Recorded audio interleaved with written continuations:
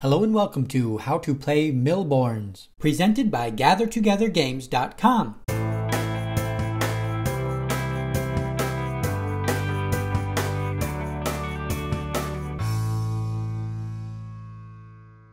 This video will cover how to play the card game Mille Bornes. The video will start with the general concepts and gameplay, and then get into more of the details for the game. The game is played with 2 to 6 players.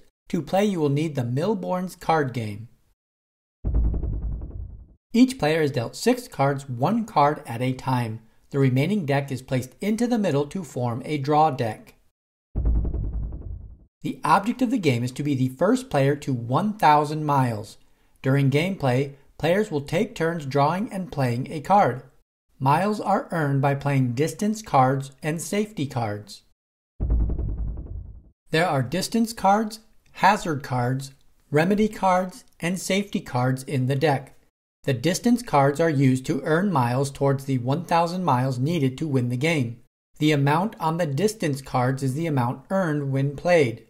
The hazard cards are red and can be played against opponents to stop them from playing distance cards.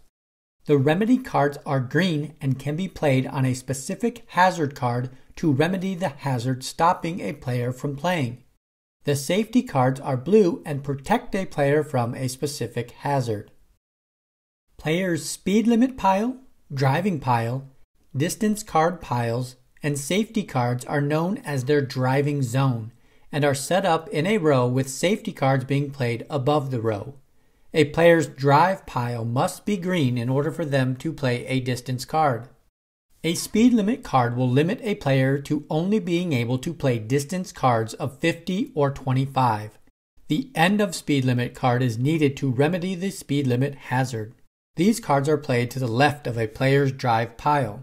All other hazard cards can be played onto a player's drive pile to stop a player from being able to play any distance cards. A remedy card will need to be played on top of the hazard card for a player to resume playing distance cards. The drive card will remedy the stop card. The gas card will remedy the out of gas card. The spare tire card will remedy the flat tire card and the repairs card will remedy the accident card. A safety card played will give a player of the card immunity to the corresponding hazard for the entire game after being played. A player with the emergency vehicle card is not affected by a speed limit card or a stop card. A player with the fuel truck card is not affected by an out of gas card. A player with a puncture proof card is not affected by a flat tire card a player with the driving ace card is not affected by an accident card. Going back to the hands that were dealt earlier, I have flipped up each player's cards for you to see. In an actual game, you will keep your cards hidden from the other players. The youngest player in the game gets the first turn. A player's turn will consist of drawing a card and getting to play a card. Player 1 starts this game by drawing a card. A player will need to start with a drive card or have the emergency vehicle safety card in play in order to be able to play distance cards. Player 1 plays a drive card.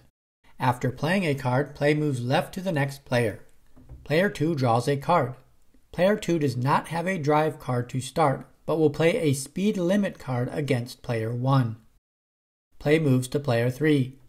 Players will continue to take turns drawing and playing.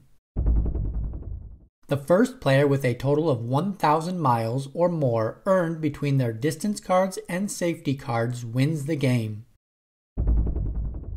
If a player is unable to play a card during their turn, the player will have to discard a card. A discard pile is created next to the draw deck. When there is a discard pile, players can choose to draw the top card of the discard pile instead of drawing from the deck on their turn if wanted. During the game, a player can only play two 200 mile cards.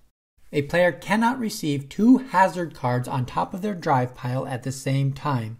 A player can have a hazard card on their drive pile and a speed limit card at the same time. After a safety card is played, the player of the safety card gets a free turn.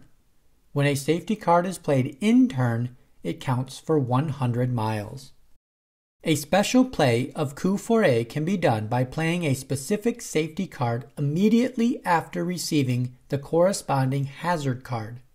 Here, player 1 plays the accident hazard card onto player 3's drive pile. Player 3 is able to play the driving ace safety card immediately. When played this way, the safety card is turned on its side and is worth 200 points towards the player's total miles. By playing a safety card, player 3 gets an additional turn. Play then continues clockwise left, which may have caused players' turns to be skipped. The game can be played individually with 2 to 4 players, or in two teams of 2 with 4 players, or 3 teams of 2 with 6 players. Teammates will share the same driving zone playing areas. That wraps up how to play Mille Bornes. If you found this video helpful, give it a thumbs up and find more game tutorials by subscribing to the channel Gather Together Games. Thanks for watching!